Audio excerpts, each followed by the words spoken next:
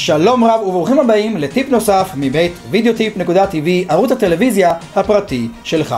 שמי אלי כהן, אני הקמתי את הפלטפורמה הזו ואני גם עוסק בלימוד והדרכה של הפקת מוצרי מידע כמו דיסקים מוקלטים, כמו וידאו מוקלט, כמו אה, מוצרים אונליין או אופליין, e-book וכולי. ואם טרם צפיתם בהדרכות, אתם מוזמנים ללחוץ כאן על אחד הקישורים ולהצטרף להדרכות ולצפות בהם.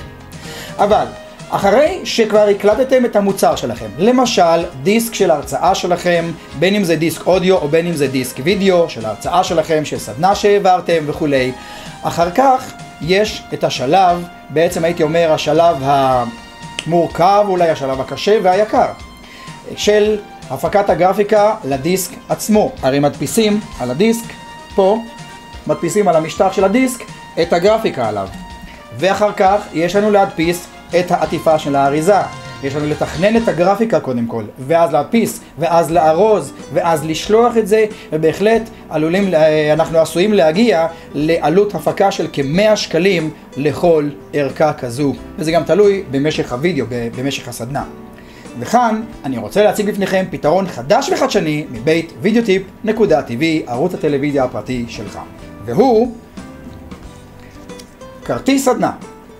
כרטיס שהוא בעצם דיסק און קי או disk on card בגודל של 8 גיגה בייט או 16 גיגה בייט, פה הוא נפתח ואת החלק הזה אנחנו מחברים למחשב, לאייפד, לאייפוד אה, או למכשיר ה-DVD ואפשר לצפות בווידאו, בסדנה, בעצם בכל מכשיר.